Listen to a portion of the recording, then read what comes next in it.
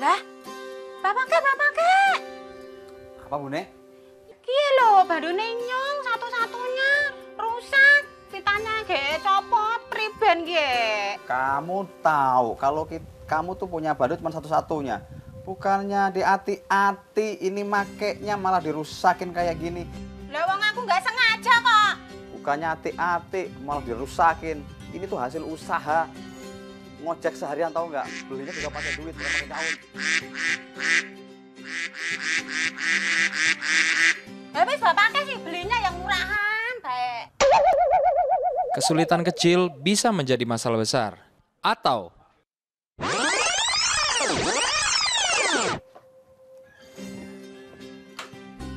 Lah, bapaknya, bapaknya.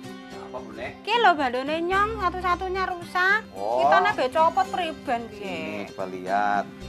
Ah, ini mah gampang. Tinggal beli lem, tempel, pasang lagi juga bisa. Ini Apa iya? Ini- Bisa.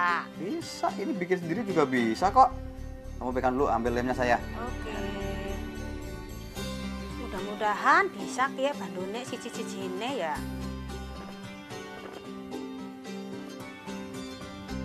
Bentuknya nih, jadi nih, ntar tolongin dulu. Nah, ini, pegangin.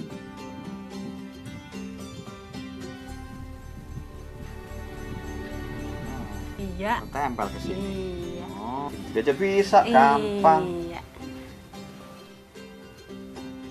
Kalau kayak begini, Nah, bapaknya yang bikin, bunda yang jualan. iya. Nah, ntar kita mau pergi nih. Ya. ya. Ntar kita beli bahan-bahannya, beli mane-mane, beli itu yang kosong. Berangkat. Berangkat kita, ntar tunggu dulu. Yuk. Ibadah Umas Rayon 3 diadakan pada hari Rabu tanggal 28 Mei 2014 jam 10 pagi di GBI Modern Land dengan pembicara Pendeta Imelda Wiguno. Menara Doa Pengerja Rayon 3 diadakan pada hari Rabu tanggal 28 Mei 2014 jam 10 pagi di GBI Modern Land bagi seluruh pengerja dan wajib bagi seluruh full-timer Rayon 3. Ibadah kenaikan Tuhan Yesus Kristus disertai perjamuan kudus diadakan pada hari Jumat tanggal 29 Mei 2014 di cabang atau ranting masing-masing. Banten Marketplace Revival diadakan pada hari Sabtu tanggal 31 Mei 2014 jam 7 malam di GBI Modern dengan tema Beyond Success. Wah, bapak ke, gara-gara bandone yang rusak, Nah, kita bisa punya usaha ya pak ya. iya.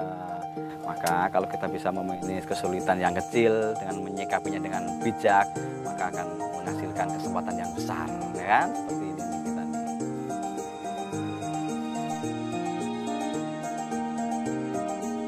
Kesulitan kecil bisa menjadi kesempatan besar.